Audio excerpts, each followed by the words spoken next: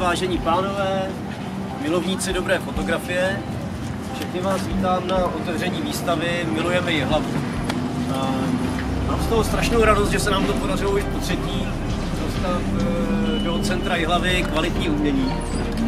A podle mě je to úplně celý takový zázrak, že se tady tenhle ten projekt nám daří a to se daří i samozřejmě díky vám, protože když to vezmete, tak vlastně my musíme prvně vás všechny donutit, abyste něco vyfotili, pak nám to donutit vás, abyste nám to poslali, pak musíme z toho něco vybrat, musíme taky donutit sponzory nebo poprosit sponzory, aby nám dali na tenhle ten šílený projekt nějaký peníze. Pak vybíráme a pak vystavujeme. A doufáme, že se to samozřejmě bude líbit a doufáme, že, že tím zkrášlíme naše krásné město. A já si myslím, že se nám to daří. Daří se to samozřejmě jsme to měli tentokrát opravdu hrozně těžký, protože nám přišlo 626 fotek. 626 fotek prohlídnout, vybrat, zhodnotit, eh, zamyslet se nad každou fotografií. Dalo nám to tentokrát hrozně moc práce, protože spousta fotek bylo, byla výborných. Najít 30 výjimečných, eh, byl schronický úkol, nakonec z těch 30 je 38. Víc, víc peníz už nám nestačilo. Uh, strašně moc uh, děkuji všem, kteří uh, nejen uspěli a dostali se tady do finále, za to nic nedostanou, možná tady bočíšek, ale i všem ostatním, kteří prostě tu fotku poslali. Ještě k tomu výběru těch fotek, třeba z, mého pohledu, v každé fotce jsem hledal nějaký příběh, něco, čím by mě ta fotografie oslovila.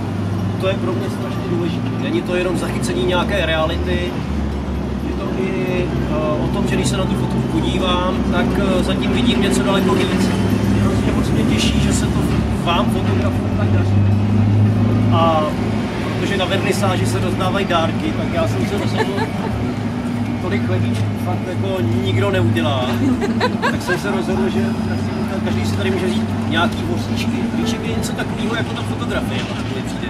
Protože když tu fotku děláte, tak vlastně nevíte, jak to dopadne, nevíte, co je uvnitř, nevíte, jestli tam ten příběh je skovaný, jestli jsou tam nějaký šaty, nebo jestli tam, jestli tam třeba není vůbec nic, že to jadírko se prostě nepodařilo, nevyvinulo. Díky všem, kterým se daří tam nacházet ty jadírka, a, a společně si popřejme, ať se výstava líbí a třeba se podaří ještě někdy, někdy v budoucnu nějaká taková výstava zorganizovat. Takže děkuji za to, že jste přišli a ať je milujeme ji hlavu 2019. Děkuji. Snad se podaří.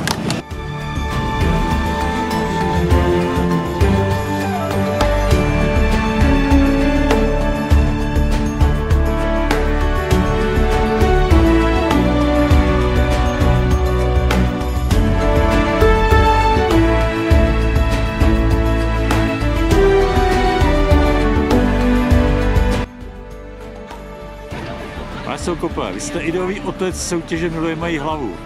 Co vás letos při třetím ročníku nejvíce bavilo na té soutěži? No nejvíc mě bavilo až to věšení těch fotek. že všechno předtím byla poměrně velká dřina. jo. A když to srovnáte s těmi předešlými ročníky?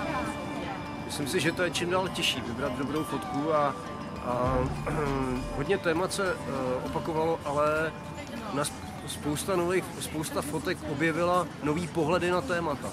Protože ona se to nezdá, ale ona tady hlava je poměrně vlastně malý město. A objevovat, eh, objevovat ty nový pohledy na to město asi je dost těžký a já jsem strašně zvědavý na to, jak se ty lidi budou s tím prát třeba ještě potom dál, jo. protože to je fakt jako najít nový pohled na věc, na kterou se díváte denně a kterou už jste třeba viděli na minulých výstavách nebo někde jinde, tak to je velký kůšt. Ale je skvělý, že se to prostě těm lidem jako daří, jako to je úplně úžasné. To jo, to jste řekl hezky. A na závěr nejtěžší otázka. Jak se vám povedlo dneska to hezký počasí?